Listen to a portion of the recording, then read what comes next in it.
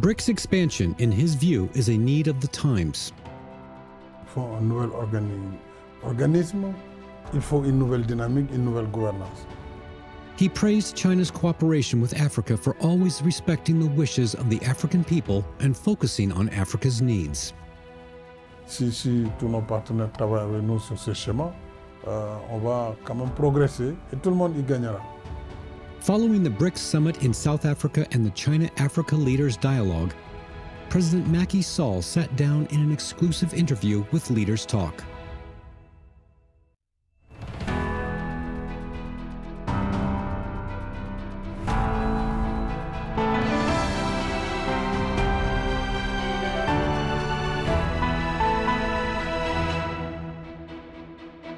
Hello and welcome to Leaders Talk, where we meet leaders, thinkers, and trailblazers among one.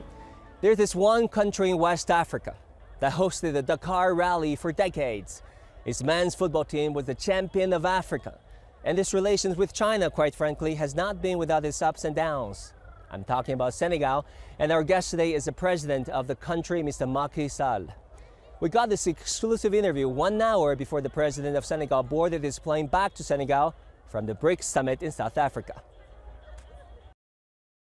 His Excellency, President Macky Sall, it is an honor to have you on Leaders Talk on China Media Group. I heard from my sources, Mr. President, that uh, you met with President Xi Jinping of China not once, but twice in the past 24 hours. And there has been quite a bit of exchange, both on the personal level and on the professional level. How did it go? Tell us about it.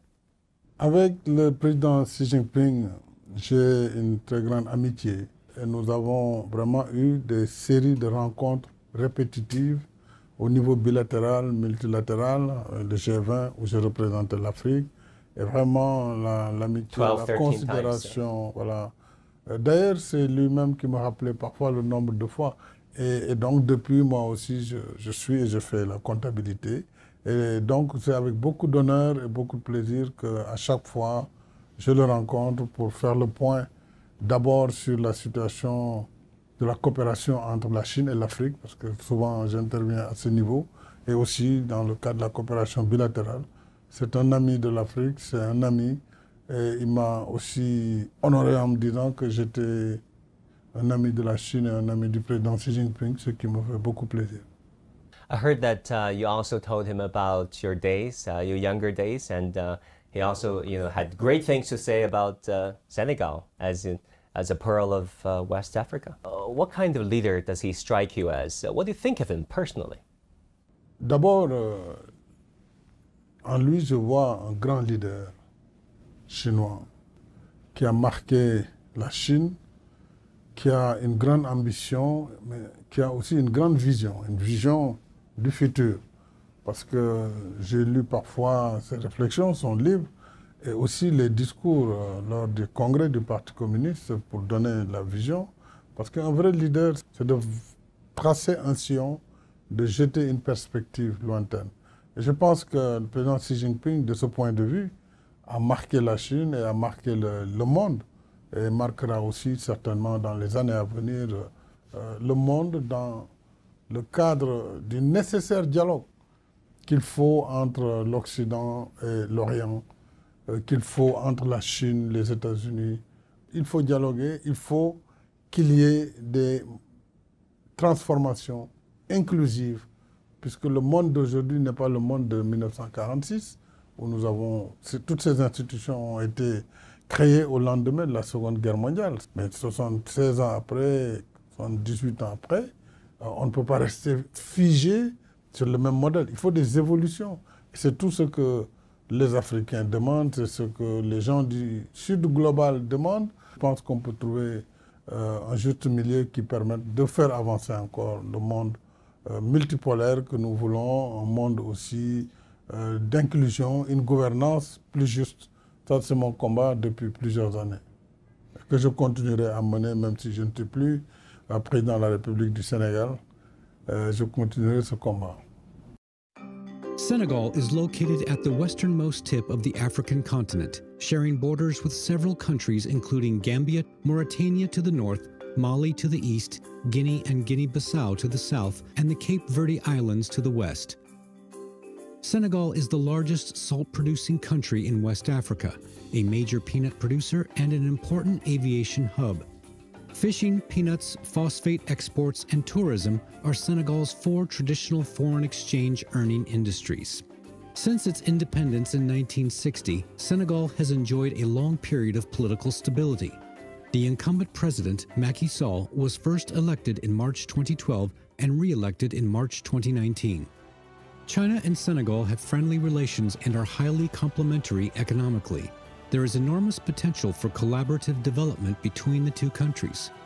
Today, China has become Senegal's most important development partner, achieving many firsts in areas such as trade and investment, development assistance, and infrastructure construction. Mr. President, I want to talk about China-Senegal relations. Senegal is the first West African country to sign the Belt and Road Initiative that China proposed. How would you characterize the current state of bilateral relations and where do you want to take it next?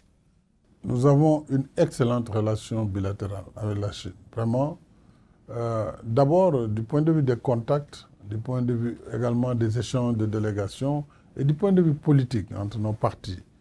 Euh, c'est une relation gagnant-gagnant, c'est une relation concrète sur le terrain. Et je dois avouer que tout ce que j'ai pu réaliser dans le cadre du plan émergent, Sénégal émergent en matière d'autoroutes, d'infrastructures majeures, d'infrastructures sportives comme l'arène nationale de, lutte, le développement de l'hydraulique rurale, sur le, développement de nouveaux pôles industriels, et ainsi que tant d'autres projets sur lesquels avec la Chine, nous avons pu bâtir dans des délais relativement courts euh, des projets qui ont permis au Sénégal de changer aujourd'hui euh, son visage, qui est un visage de modernité, qui est un visage d'émergence, même si, bien sûr, euh, l'émergence se construit dans la durée. Mais pour me résumer, c'est une relation exceptionnelle sur laquelle j'ai vraiment beaucoup de satisfaction. Et ces dix dernières années, quand vous regardez la coopération. J'ai été en Chine pour lui demander de nous aider à faire accepter les arachides du Sénégal. Aujourd'hui, le Sénégal, la Chine est notre premier pays importateur d'arachides du Sénégal. Il y a deux ans, on a exporté vers la Chine près de 300 000 tonnes d'arachides. Minimum chaque année, c'est 200 000 tonnes. Et ça, ça joue sur la balance commerciale. Et je ne parle pas du financement des projets, mais aussi vraiment de la confiance dans la relation. Donc, elle est j'en suis très heureux. Je remercie encore une fois le président Xi Jinping, le gouvernement, le peuple chinois. Also, Mr. President, this year marks the 10th anniversary of uh, China's announcement of the organizing principle of its approach towards Africa. Do you think these grand visions and slogans have transpired, trickled down to ordinary people living on the continent of Africa, of Senegal? Oui, bien sûr, parce qu'au-delà des chefs d'État, c'est quand même des populations qui suivent et qui sont informées de ce qui se passe. Les Africains, de façon générale, évidemment, considèrent positivement toute coopération qui met de côté les jugements de valeur, même si nous devons partager un certain nombre de valeurs communes. Donc, si la Chine, qui a aussi été dominée un moment elle, dans son approche, met de côté ces aspects et vient traiter avec humilité. Mais voulez-vous que les Africains refusent cela? Ils apprécient. Et avec nos autres partenaires, c'est ce que nous disons également. Nous voulons un partenariat rénové d'égal à égal qui, ce n'est pas parce qu'on est moins riche qu'on n'a pas droit au respect ou à la considération. Donc c'est tout ce que nous souhaitons. Qu'on nous écoute aussi et ensemble, à Paris, d'ailleurs, on a eu cette discussion avec le président Macron. Il faut que nous et nos partenaires, nous écrivions ensemble, que nous co-construisions les solutions. Pas de solutions qu'on concocte d'or pour nous les imposer, comme souvent, malheureusement, ça a été le cas. C'est comme ça, ou bien il n'y aura pas de décaissement. C'est comme ça, ou bien vous n'aurez pas d'accord. Je ne pense pas qu'on puisse continuer à travailler comme ça avec des partenaires. Donc, euh, la Chine a cette approche qui met à l'aise les Africains, partenariat qui, qui, préserve en tout cas cet aspect de la considération euh, humaine qui compte beaucoup pour nous. Actually, I was talking with your successor, uh, the president of the Comoros, Mr. Assoumani just a few hours ago downstairs at the same room. And they talked about the difference between the Western approach that is, in his words, patronizing many countries of Africa versus what he believes China working with Africa as equals. Uh, what are your thoughts on this? Moi, je m'inscris toujours dans le cadre d'un dialogue franc avec les partenaires. Et ce que je leur dis lorsque nous sommes ensemble, c'est qu'il nous faut rénover ce partenariat ancien, souvent qui est venu au lendemain de la colonisation, c'est vrai, avec parfois beaucoup de paternalisme, beaucoup de jugement de valeur.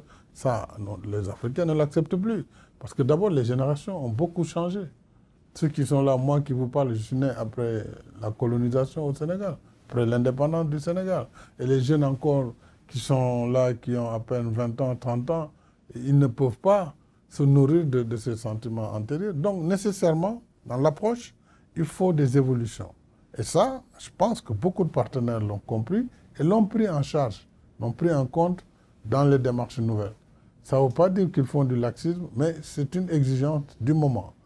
Et j'avoue, encore une fois, je le dis pour m'en réjouir, avec la Chine, nous n'avons pas ce genre de problème, vraiment. Ensuite, je le dis d'autant plus que si nous nous disons à la Chine, voilà le projet que nous voulons, elle va étudier. Il ne s'agit pas de fermer les yeux pour prêter, elle va étudier, mais donc le financement, il est fait sur la base de la demande faite par l'Afrique et par les priorités que nous avons fixées. Et parfois, avec certains partenaires, c'est plutôt en fonction des centres d'intérêt du partenaire que les choses sont faites. Maintenant, il est arrivé, et depuis quelque temps quand même, que tous les partenaires partent de nos programmes. Moi, au Sénégal, par exemple, depuis 2014, toute la coopération, toute la coopération, celle avec la Chine, celle avec euh, la France, l'Europe, les États-Unis, la Turquie, toute la coopération est adossée au plan Sénégal émergent que nous, nous avons défini comme plan de développement. Donc ça, si on arrivait à le faire sur l'ensemble du continent, on va aller vers des convergences et on va mieux communiquer parce que tous nous voudrions en ce moment qu'il y ait une réussite par rapport aux politiques économiques, sociales et environnementales. Et en ce moment, vraiment, c'est le partenariat dont nous rêvons, partenariat gagnant-gagnant. Euh, et souvent, je l'ai dit, euh, l'aide, même si parfois c'est utile, je pense que l'Afrique aujourd'hui, ce qu'elle demande, c'est moins l'aide que l'accès à des financements euh, modérés, c'est-à-dire à des taux d'intérêt modérés qui lui permettent de rembourser avec un service de la dette soutenable, mais aussi des durées de remboursement assez longues pour que tous les budgets ne servent pas à rembourser les, intérêts de la dette. Je pense que si, si tous nos partenaires travaillent avec nous sur ce schéma, euh, on va quand même progresser et tout le monde y gagnera.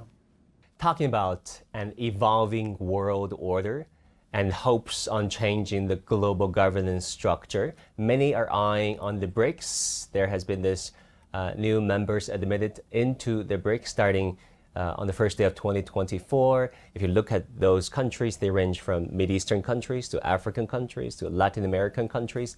Um, what do you think is behind such enthusiasm? Alors, ce, mouvement vers les BRICS euh, exprime justement l'attente de tous ces pays qu'il faut une nouvelle situation, il faut un nouvel organisme, il faut une nouvelle dynamique, une nouvelle gouvernance. C'est cela que ça signifie. Alors, c'est pourquoi il ne faut pas freiner ce mouvement, mais il faut en même temps quand même préserver l'ordre ancien, mais en le modifiant. Le modifier, c'est le réformer, nécessairement. Il faut que ceux qui ont incarné cet ordre ancien acceptent cette évolution. Would Senegal, a country you have been governing for nearly a decade, consider a BRICS membership?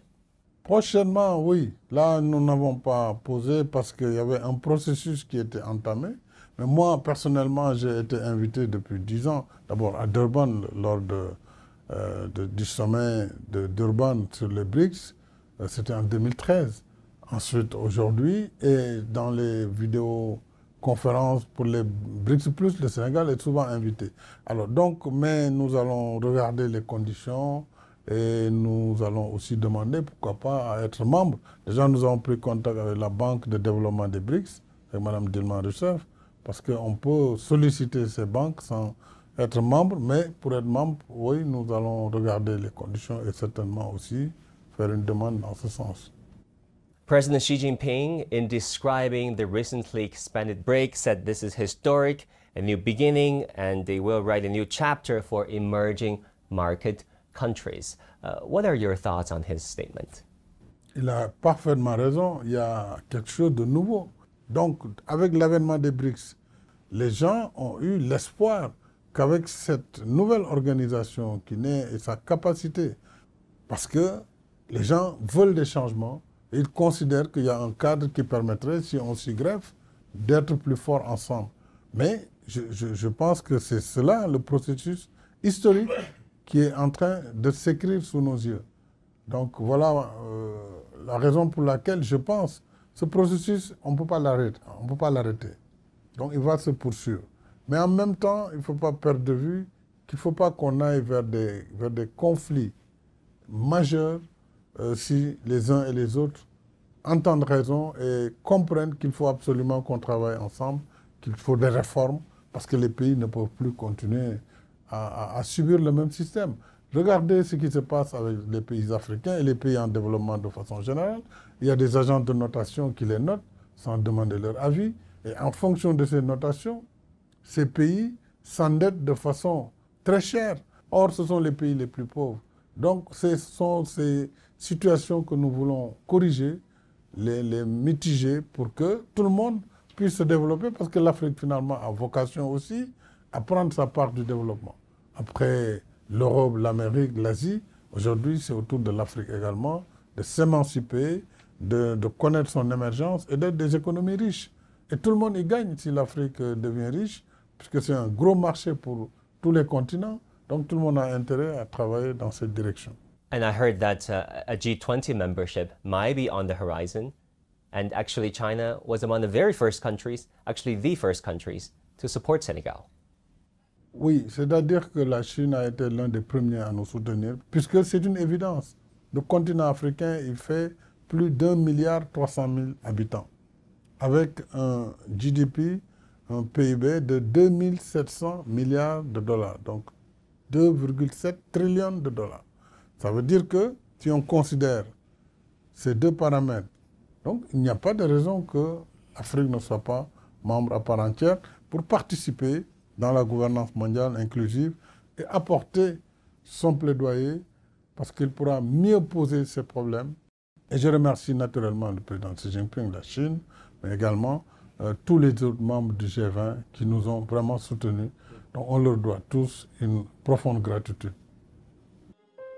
Just a few hours before sitting down in an exclusive interview with Leaders Talk, Senegalese President Macky Sall attended the China Africa Leaders Dialogue, co chaired by Chinese President Xi Jinping and South African President Cyril Ramaphosa in Johannesburg. At the event, President Sall listened to President Xi's speech. China will continue to support Africa in speaking with one voice on international affairs and continuously elevating its international standing. China will work actively at the G20 summit to support the AU's full membership in the group. China supports making special arrangements on the UN Security Council reform to meet Africa's aspiration as a priority. China will call on multilateral financial institutions to enhance the say of African countries. President Xi also stressed there are various paths leading to modernization. The African people have the most say on which path suits Africa best. Advancing modernization through integration is the independent choice made by African countries and people. On this path to modernization, China has all along been a firm supporter and walking side by side with Africa. I really want to ask you about China's role in Africa because there has been so much accusation of China doing so called debt trap diplomacy in Africa. But just to get the record straight, according to the World Bank, 49 African countries owe 39% of their debt to non Chinese multilateral institutions, 35% of their debt to non Chinese private lenders, and only 12% to Chinese lenders. And if you compare the interest rate, uh, China offered, which was 2.7% versus 5% average interest rate offered by other countries. But why do you think such simplistic narrative of China being the neo-colonialist power creating that trap is so popular in the international news media? Vous savez, la meilleure réponse à cela, c'est de voir comment les Africains considèrent la Chine. Or, quand vous voyez la nature de la relation, ça veut dire que les Africains ne croient pas en cela. Puisque, effectivement, quand on regarde de plus près, les prêts chinois, tout cas les prêts que le Sénégal a, a pris en Chine pour construire des infrastructures, sont tous à des taux extrêmement faibles. Les plus élevés, c'est 2,5%. Il est vrai, il y a des pays comme les États-Unis ou l'Union européenne qui font des dons sur certains projets, mais nos besoins à l'échelle du continent ne peuvent pas être pris en charge par des dons, ou même des crédits concessionnels seulement. C'est pourquoi nous disons qu'il nous faut bâtir des stratégies pour prendre ces crédits concessionnels qui existent, plus des crédits eximes ou, même commerciaux, faire du blending pour sortir finalement autour de 2, 2,5, maximum 3%.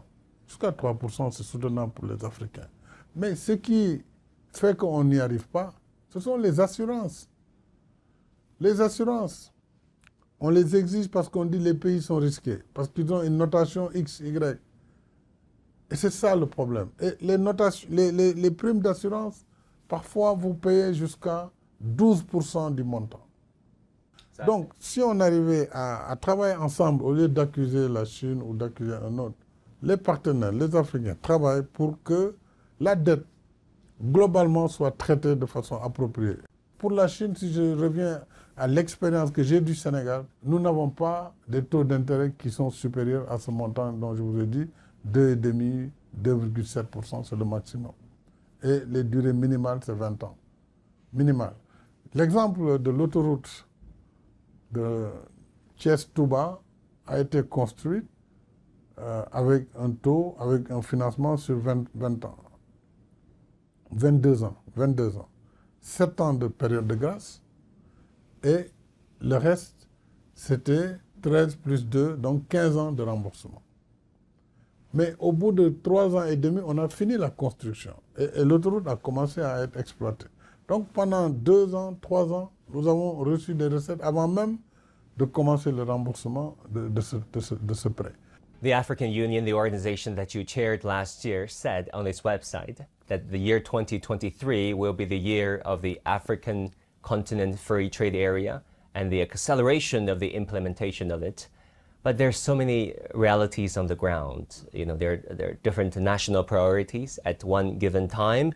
Uh, there are countries who want um, bilateral agreements instead of multilateral FTAs. What is the prospect of African-wide FTA, in your opinion, and how soon do you think it can be realized, realistically speaking? D'abord, il faut noter qu'il y a des évolutions très positives. La zone de libre-échange, par exemple, tout ce travail a été fait, un secrétariat a été installé au Ghana, et, et le travail s'est fait. Maintenant, ce qui handicape le développement du commerce intra-africain, c'est l'absence d'infrastructures, les routes entre les pays, le chemin de fer entre les pays. C'est ça qui limite le développement du commerce intra-africain. Et notre volonté donc est d'apporter des solutions par rapport à ces goulots d'étranglement, mais nous avons aussi un autre fléau nouveau, c'est le terrorisme. Vous savez, l'Afrique est devenue le ventre mou du terrorisme, que ce soit dans le Sahel euh, ou bien dans la zone du lac Tchad, ou bien encore au Mozambique, dans la corne de l'Afrique, partout, on a des problèmes sérieux de sécurité, de terrorisme. Cela ne facilite pas l'intégration, cela ne facilite pas le mouvement des personnes et des biens. Donc ça, ça vient se rajouter aux autres difficultés d'ordre infrastructurel. Mais sur tous ces sujets, des solutions sont en vue. Évidemment, ce n'est pas facile. Nous avons toujours plaidé pour que l'Afrique ne soit pas abandonnée seule face au terrorisme. Que le Conseil de sécurité des Nations Unies prenne sa part dans ce combat, qu'on ne laisse pas juste les pays qui sont aujourd'hui face à ce fléau, dont certains pays voisins du Sénégal, comme le Mali, le Burkina Faso, le Niger justement, et le Tchad, mais aussi le Nigeria, font face au quotidien à des attaques difficiles qui, qui, terrorisent les populations, qui tuent. Alors tout cela, ce sont des facteurs limitants du développement du continent africain. Donc, mais l'Afrique est résiliente, parce que ce n'est pas pour rien qu'elle en est là aujourd'hui. A subi beaucoup de choses, mais je suis sûr qu'on vaincra le terrorisme l'Afrique continuera sa marche inexorable vers le développement.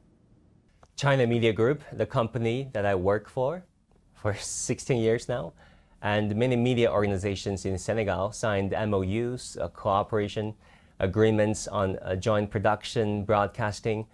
How important do you think these cooperation initiatives are in telling the stories of China and Africa and in showcasing uh, you know, the nuances of their societies to the outside world? Oui, vous savez, la, les médias, la communication sont des moyens très importants de communication d'abord, de véhicules d'information et de communication. Donc, le fait d'avoir d'abord en langue française, en Afrique, en anglais, et même dans les langues euh, africaines. Donc, il est, important que vous aussi, vous soyez là en partenariat avec les médias locaux pour participer dans la vie médiatique en Afrique, puisque l'Afrique, de toutes les façons, c'est un continent qui va aller de l'avant. C'est un continent dynamique. En 2050, on parle de 2 milliards 500 millions d'habitants et une, une, croissance qui va être plus forte. Puisque justement, ce qu'on a convenu dans le FOCAC aujourd'hui avec le président Xi, c'est vraiment de mettre un focus sur trois initiatives qu'il vient de lancer, sur l'industrie, l'industrie en Afrique, l'industrialisation, euh, mais qui s'appuie aussi sur l'agriculture, la transformation des produits agricoles et aussi sur le capital humain. La formation professionnelle, le capital humain permettront vraiment, avec cette jeunesse et l'économie numérique, que l'Afrique soit également un grand centre de production de profits, de valeur ajoutée, d'emploi. Et ça, ça va beaucoup jouer sur la richesse. Dans, dans 25 ans, 30 ans, on n'a plus la même géographie des pays. Hein, parce qu'il y a d'autres qui vont rentrer et d'autres vont, chuter. Et, ça va être ça en 2050, une nouvelle configuration du monde. C'est pourquoi nous disons le monde doit évoluer. Il ne peut pas être figé avec une, une photocopie d'un temps T. Mais si un temps T plus 50 ans ou plus 100 ans, on veut garder la même photo, ça ne marche pas. Donc c'est pourquoi je, pense que l'Afrique, et nous nous disons tout le monde a sa place en Afrique. Parce que les besoins que nous avons, aucun pays seul ne peut les soutenir. Parce que c'est énorme. Je vous ai dit, l'Afrique, c'est 30 millions de kilomètres carrés.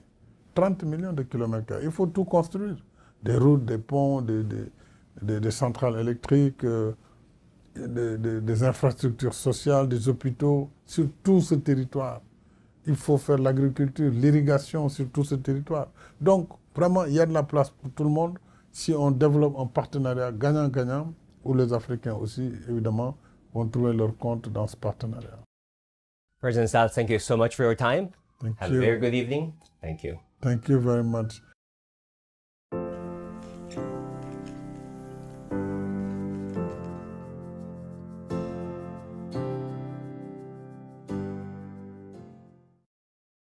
President Sall believes that there's a paradigm shift going on where the global south is consolidating and strengthening their power. It is hoped that growing institutions such as the BRICS or BRICS Plus will bring the world more justice, more inclusiveness, less coercion, and less arrogance. Thank you for watching this episode of the Leaders Talk. I'm Wangguan in Johannesburg, South Africa. I'll see you again next time.